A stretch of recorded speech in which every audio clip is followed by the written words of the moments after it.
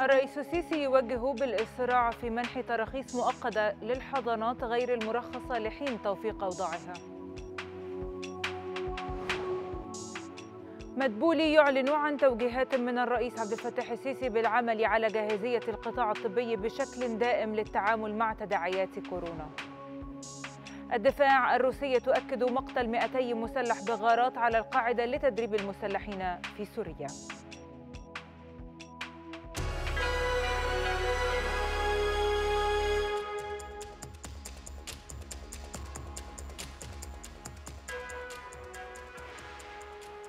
السابعة صباحا الخامسة بتوقيت غرينتش نشرة إخبارية مفصلة تأتي حضراتكم من القاهرة. أهلا بكم. وجه الرئيس عبد الفتاح السيسي بإدراج حضانات الأطفال ضمن الأنشطة التي تتمتع بمزايا قانون المشروعات المتوسطة والصغيرة بما يمنحها تسهيلات ومزايا ضريبية وحوافز أخرى. وخلال اجتماعه مع رئيس الوزراء وعدد من المسؤولين وجه الرئيس السيسي بالإسراع في عملية منح تراخيص مؤقتة للحضانات غير المرخصة لحين توفيق أوضاعها.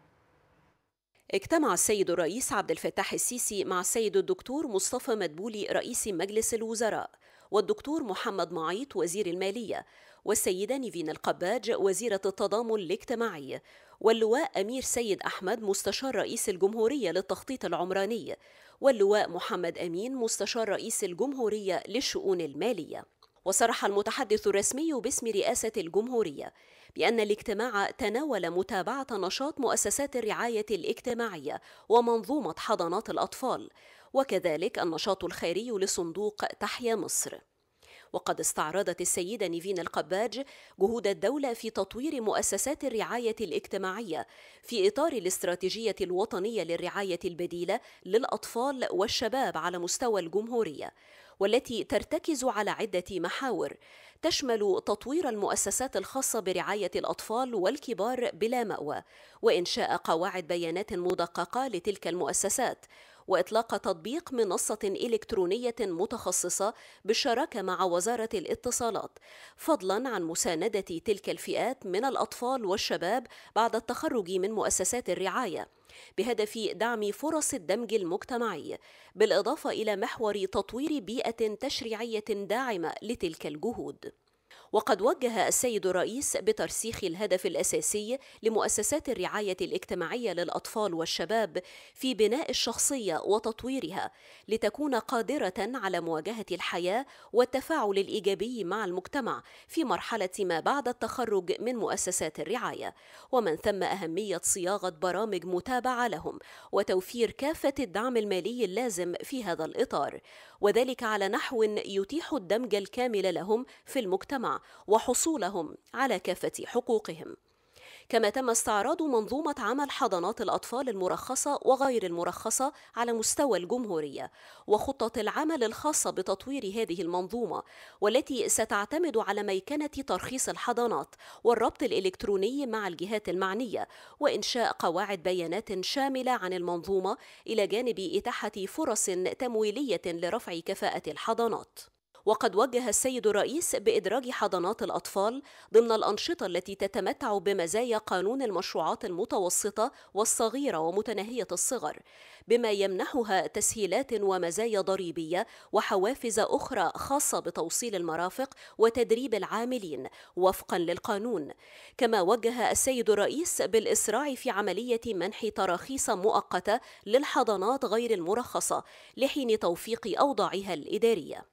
كما تطرق الاجتماع إلى عرض نشاط حملة أبواب الخير التي أطلقها صندوق تحيا مصر خلال شهر رمضان المعظم لدعم الفئات الأولى بالرعاية والعمالة غير المنتظمة على مستوى الجمهورية وذلك من خلال قوافل الإمداد بالمواد الغذائية والتي تهدف إلى توزيع مليون وجبة إفطار على مدار الشهر بالتعاون مع الجمعيات الأهلية إلى جانب توزيع الملابس الجديدة قبل حلول عيد الفطر المبارك. أعلن رئيس الوزراء مصطفى مدبولي عن توجيهات من الرئيس عبد الفتاح السيسي بالعمل على جاهزية القطاع الطبي بشكل دائم للتعامل مع تداعيات فيروس كورونا. وخلال ترأسه اجتماع المجموعة الطبية لمواجهة انتشار فيروس كورونا بحضور عدد من الوزراء والمسؤولين وجه رئيس الوزراء بتوفير الاعتماد المطلوب لاستيراد اللقاحات ومخزون استراتيجي من المستلزمات الطبية. كما أكد مدبولي أن الفترة الحالية تشهد تزايد معدلات الإصابة بفيروس كورونا وهو ما يتطلب الحرص الزائد وتطبيق جميع الإجراءات الاحترازية والوقائية.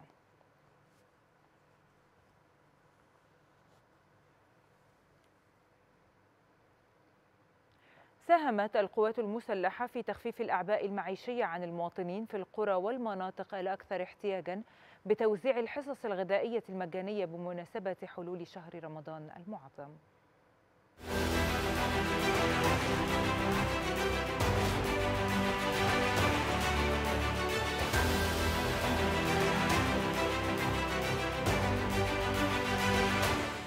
في إطار حرص القوات المسلحة على تخفيف الأعباء المعيشية عن المواطنين بمناسبة حلول شهر رمضان المعظم وبالتزامن مع إلغاء إقامة الموائد الرمضانية للالتزام بالإجراءات الاحترازية التي تقوم بها الدولة المصرية لمجابهة انتشار فيروس كورونا أصدرت القيادة العامة للقوات المسلحة أوامرها لهيئة الإمداد والتموين للقوات المسلحة بتعبئة وتجهيز حصص غذائية مجانية وحرصت القوات المسلحة على الإعداد والتجهيز الجيد للأصناف لتقديمها إلى أبناء القرى والتجمعات السكانية لتلبية احتياجاتهم من السلع الغذائية.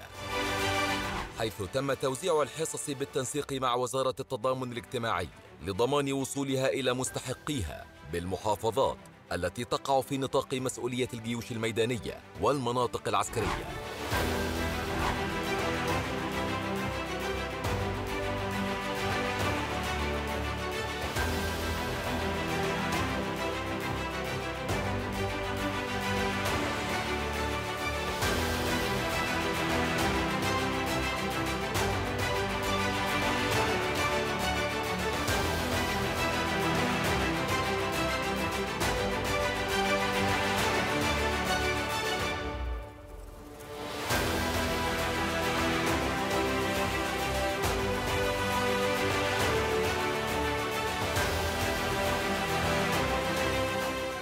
وشهدت نقاط التوزيع إقبالا كبيرا للحصول على العبوات التي تم طرحها مجانا مع الالتزام بتطبيق كافة الإجراءات الاحترازية خلال عملية التوزيع حفاظا على سلامة المواطنين.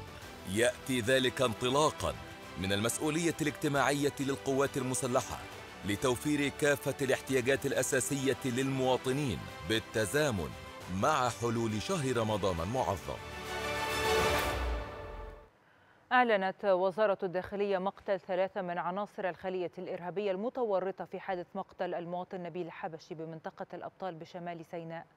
قالت الداخلية في بيان إن العناصر الإرهابية كانوا يخططون لتنفيذ عدد من العمليات العدائية تستهدف المواطنين الأقباط وارتكازات القوات المسلحة والشرطة. أشار البيان إلى أنه تم تحديد هوية اثنين من العناصر الإرهابية بعد مصرعهم وهما القيادي الإرهابي محمد زياد السالم واسمه الحركي عمار ويعد من أخطر العناصر الإرهابية. والإرهابي يوسف إبراهيم السليم واسمه الحركي أبو محمد المتورط في تنفيذ العديد من العمليات الإرهابية. هذا وأكد البيان ملاحقة بقية عناصر الخلية الإرهابية المتورطة في حادث مقتل المواطن نبيل حبشي بعد تحديدهم.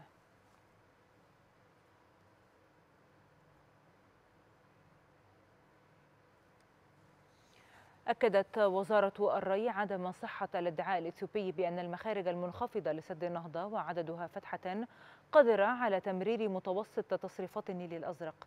وأوضحت الوزارة أن القدرة الحالية لتصريف المياه لا تتعدى 50 مليون متر مكعب يوميا لكلا الفتحتين وهي كمية لا تفي باحتياجات دولتي المصب ولا تكافئ متوسط تصريفات النيل الأزرق. شددت الوزارة على أن تنفيذ عملية الملء الثاني هذا العام واحتجاز كميات كبيرة من المياه طبقا لما أعلنه الجانب الإثيوبي سيؤثر بدرجة كبيرة على نظام النهر. أضافت الوزارة أن الجانب الإثيوبي يسابق الزمن لفرض أمر واقع على دولتي المصب من خلال ملء بحيرة السد للعام الثاني على الرغم من عدم جاهزية السد للتوليد الكهربائي المخطط له. ونفت الوزارة الادعاء بأن السد يطابق المواصفات العالمية مشيرة إلى أن إثيوبيا تقوم ببنائه بطريقة غير سليمة.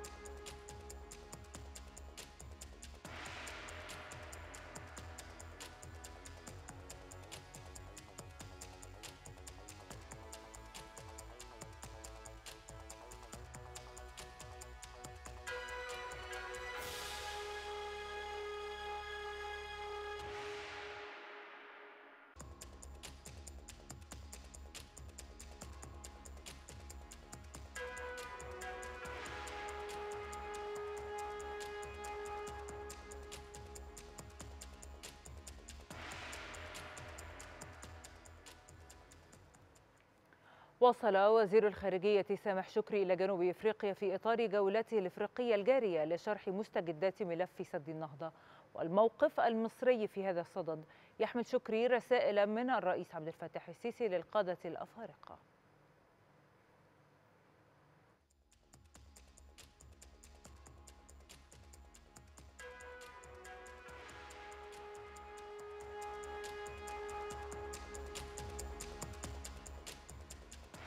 دعا الأمين العام لجامعة الدول العربية أحمد أبو الغيط مجلس الأمن وأجهزة الأمم المتحدة الأخرى إلى إقامة شراكة عمل استراتيجية مع الجامعة العربية ودولها الأعضاء بغية إرساء دعائم الأمن والاستقرار والتنمية المستدامة في المنطقة العربية. جاءت دعوة أبو الغيط أمام جلسة مجلس الأمن رفيعة المستوى حول التعاون بين الأمم المتحدة والمنظمات الإقليمية ودون الإقليمية في حفظ السلم والأمن الدوليين.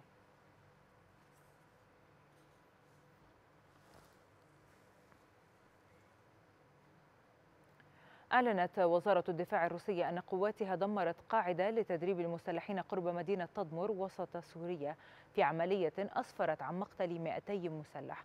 قال مسؤولون أن هناك معلومات عن إنشاء المسلحين قاعدة مختبئة شمال شرق تدمر حيث جرى تشكيل جماعات قتالية لإرسالها إلى مناطق مختلفة بالبلاد وتنفيذ عمليات إرهابية في سوريا كما تم فيها إنتاج عبوات ناسفة يدوية الصنع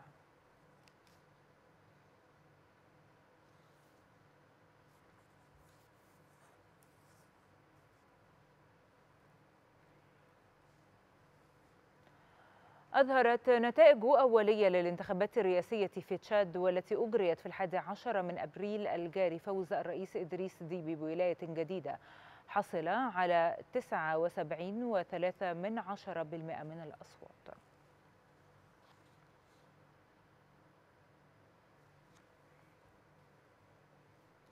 أعلن الجيش التشادي مقتل أكثر من 300 متمرد قادوا توغلا قبل ثمانية أيام في شمال البلاد إضافة إلى مقتل خمسة جنود في القتال. قال الناطق باسم الجيش التشادي إنه تم اعتقال وتوقيف 150 من المتمردين مشيرا إلى أن القتال في شمال البلاد قد انتهى.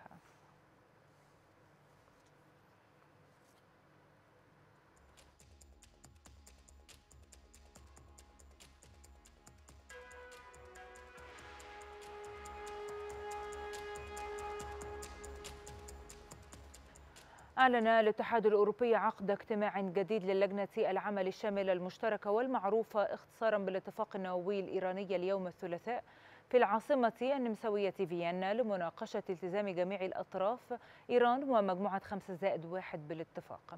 واحتمال رفع العقوبات الأمريكية عن طهران أكد بيان صحفي على الموقع الإلكتروني للمفوضية الأوروبية للشؤون الخارجية اعتزام المشاركين تقييم التقدم المحرز في المناقشات الجارية حول احتمال عودة الولايات المتحدة الأمريكية إلى خطط العمل الشاملة المشتركة وأيضا كيفية ضمان التنفيذ الكامل والفعال للاتفاق النووي الإيراني من قبل جميع الأطراف.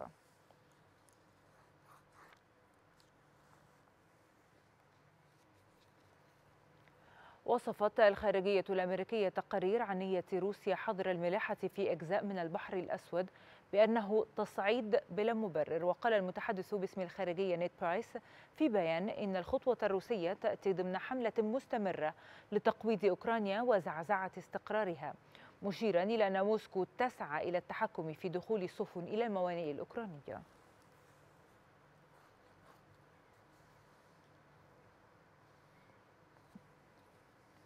قالت وزارة الدفاع الأمريكية البنتاغون إن التعزيزات العسكرية الروسية قرب أوكرانيا أكبر مما كانت عليه في 2014 وقال المتحدث باسم البنتاغون إنه لم يتضح بعد إن كانت تحركات القوات لأغراض تدريبية.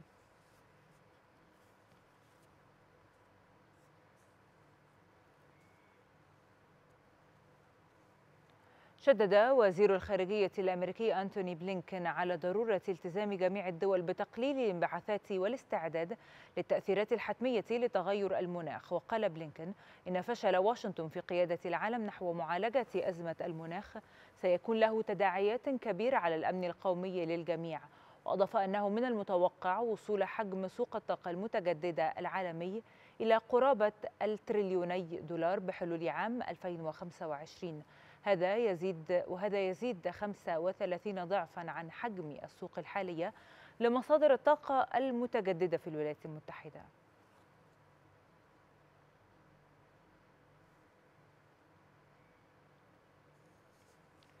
أعلنت وزارة الخزانة الأمريكية عن إنشاء مركز عمليات المناخ لتعزيز التمويل الأخضر واستخدام السياسة الضريبية وتقييمات المخاطر للمساعدة في تقليل انبعاثات الكربون. أوضحت الوزارة الأمريكية أن تغير المناخ يتطلب استثمارات في مختلف قطاعات الاقتصاد من الصناعة والحكومة وكذلك إجراءات لقياس وتخفيف المخاطر المرتبطة بالمناخ على الأسر والشركات والقطاع المالي.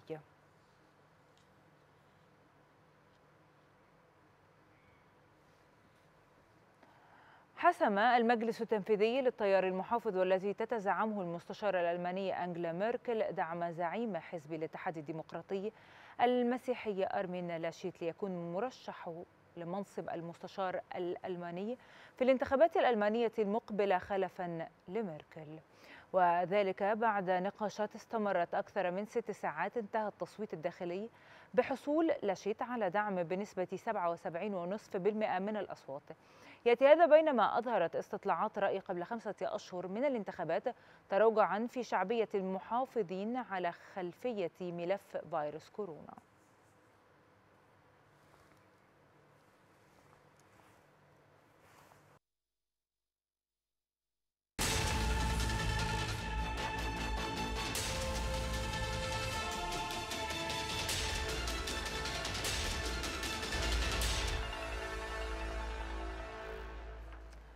أعلنت وزارة الصحة تسجيل 852 حالة جديدة ثبتت إيجابية تحاليلها معمليا بفيروس كورونا ووفاة 40 حالة جديدة أوضح دكتور خالد مجاهد مساعد وزيرة الصحة والسكان للإعلام والتوعية.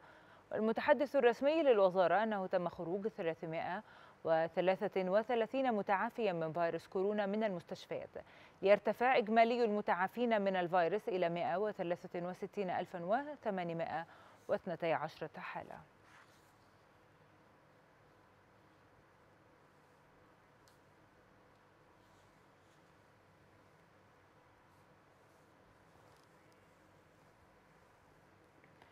قالت المراكز الأمريكية لمكافحة الأمراض والوقاية منها إن السلطات الصحية منحت نحو 211 مليون و600 ألف جرعة لقاح واقي من فيروس كورونا حتى صباح اليوم الاثنين.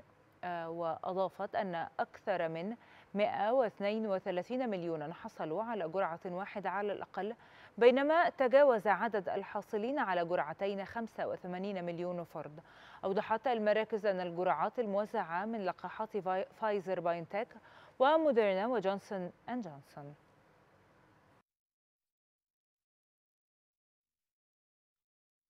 يواصل فيروس كورونا تفشيه في مختلف أنحاء العالم حيث تجاوز عدد ضحاياه ثلاثة ملايين فيما تم تسجيل أكثر من 140 مليون إصابة حتى الآن. في الهند أعلن رئيس وزراء العاصمة نيودلهي أن المدينة ستخضع لعزل عام صارم لنحو أسبوع نظرا لزيادة عدد الإصابات مضيفا أن نظام الرعاية الصحية على حافة الانهيار وأن المدينة تواجه نقصا حادا في الأسرة بالمستشفيات وإمدادات الأكسجين والأدوية الأساسية.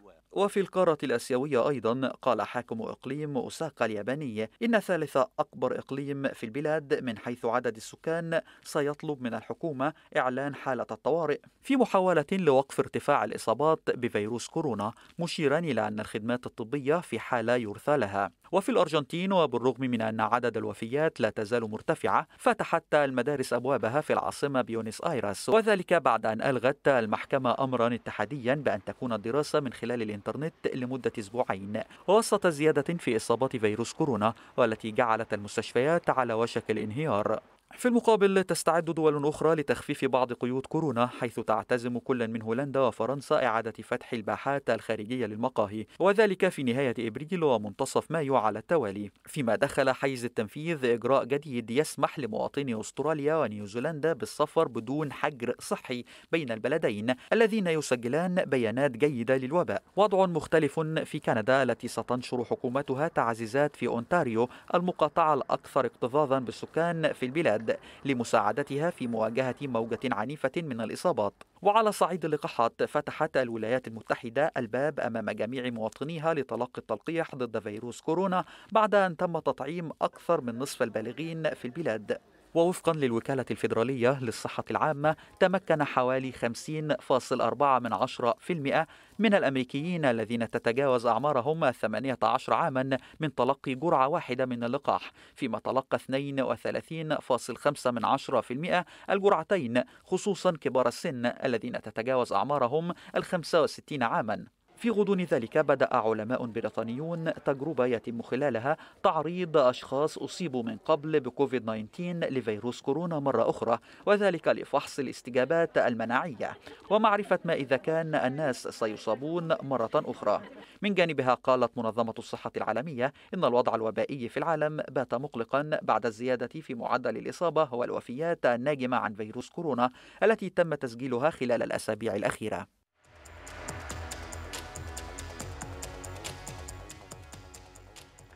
أطلق الاتحاد الأوروبي موقعا على الإنترنت للمواطنين لمناقشة مستقبل التكتل المؤلف من 27 دولة. تأتي هذه الخطوة مع دعوات لتطوير الاتحاد الأوروبي لا سيما بعد خروج بريطانيا وتصاعد النزعة القومية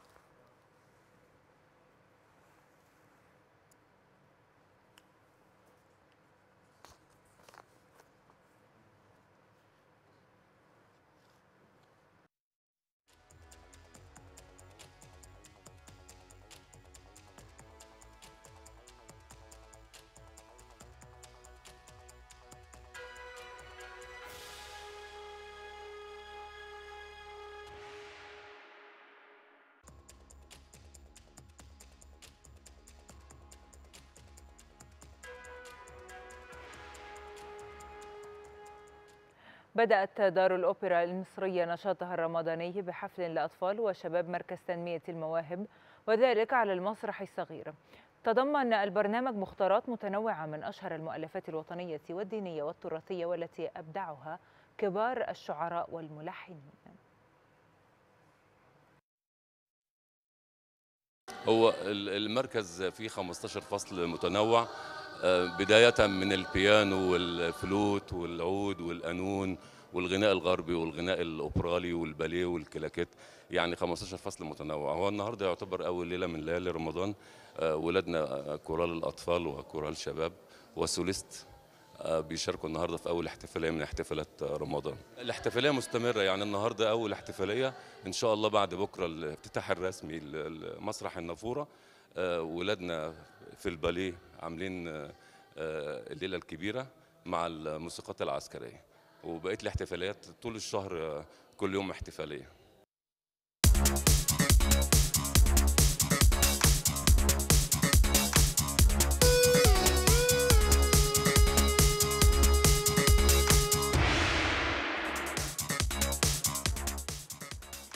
توج فريق الزمالك بلقب بطولة دوري كرة اليد للمرة السابعة عشر في تاريخه وذلك بفوزه على الأهلي في المباراة الفاصلة ب 18 هدفا مقابل 17 تساوى الفريقان.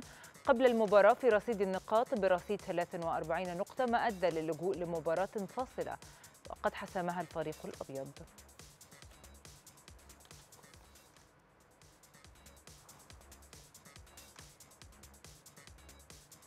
بدأ فريق الزمالك تدريبات استعدادا لمباراة الإنتاج الحربي المقرر الخميس المقبل في بطولة الدوري الممتاز ضمن مؤجلات الجولة السادسة عشر. هذا وقد عقد الفرنسي باتريس كارتيرون المدير الفني للفريق جلسة مع لاعبي الفريق وطالبهم بالتركيز في المباريات المقبلة من أجل تحقيق الفوز ومواصلة المنافسة على لقب الدوري.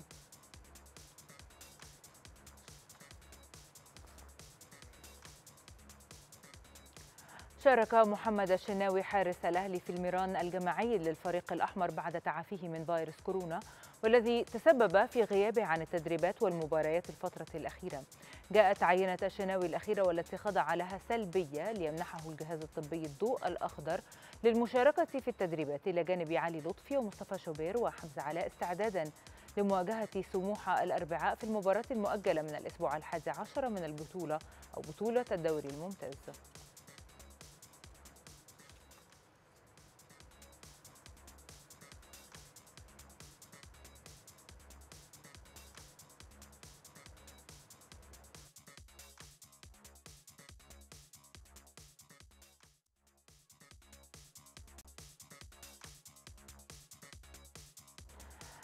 دافع رئيس نادي ريال مدريد الإسباني فلورنتينو بيريز عن إقامة بطولة دوري السوبر الأوروبي مؤكدا أنها ستخلق موارد هائلة للأندية التي تعاني من الأوضاع المالية السيئة خاصة في ظل أزمة كورونا. أضاف بيريز في برنامج حواري أن داخل أو دخل الأندية من بطولة دوري أوروبا أو دوري أبطال أوروبا ضئيل للغاية في حين ستضمن بطولة دوري السوبر الأوروبي إقامة المزيد من المباريات التنافسية. ونفى بيريز إمكانية استبعاد أندية ريال مدريد ومانشستر سيتي وتشيلسي من دوري أبطال أوروبا هذا الموسم.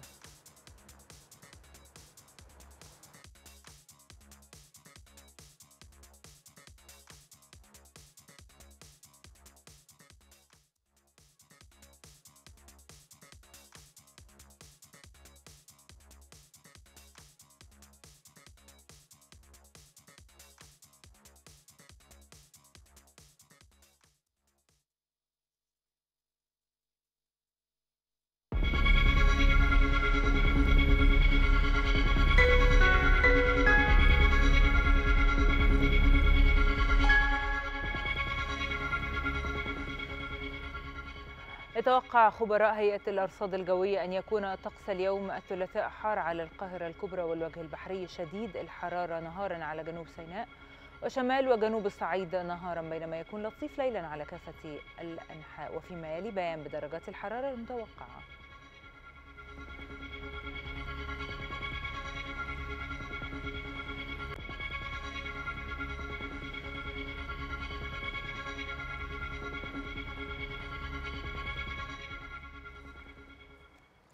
وصلنا مع حضراتكم لختام هذه النشرة وهذه تذكرة بأهم ما جاء فيها من عناوين.